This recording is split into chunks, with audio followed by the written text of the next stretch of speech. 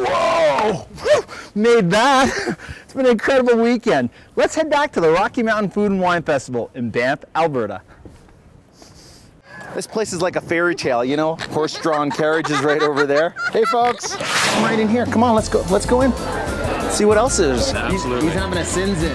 it's Saturday, why not? Okay, so this is what uh, Ted was drinking that we saw before. It was the Wicked Weekend. I think it was the Sins In. Is this one right over here? I, they're burgers from the Eddie Burger Bar. It's right downtown in Banff. It's one of the one So of the which best one would places. you recommend? You, sound know, like you're I'm- familiar with it. That's the one I'd recommend right there. The one she's serving you. Yeah, we're offering people the opportunity to invest in our vineyard.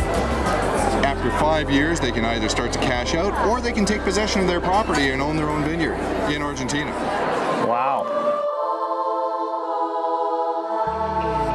Vineyard ownership for five You thousand got five bucks. grand? Let's go. Maréchal Foch Yeah. from Airlie.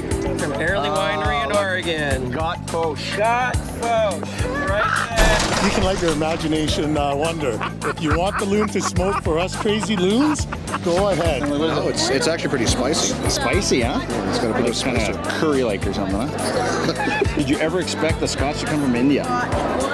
No, but I'd buy it. I tell you that. That's really good. Have you tried any of the wines? Have you had too much to drink?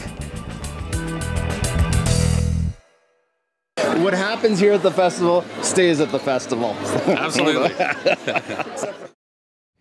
Phew, that was a great weekend. My wine glass is empty, but the fun never ends. Thanks for joining us on Vine Television at the Rocky Mountain Food and Wine Festival in Banff, Alberta.